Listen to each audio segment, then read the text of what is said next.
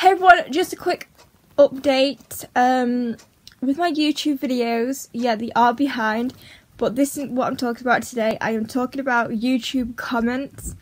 They are literally winding me the hell up. No matter how many times I turn them on, for some reason they keep switching themselves off, and literally it's making me angry because you guys will probably have to go into a complete different video just to comment and oh I'm so sorry I just do not know what to do. If there's an easier way for you guys to contact me, let me know what will be easy for you. I do have my Instagram link in the description, uh, but I know everyone's not on Instagram. So let me know what is easier for you and I'll try and sort something out. So like I say guys, I'm very sorry, I just do not know what to do.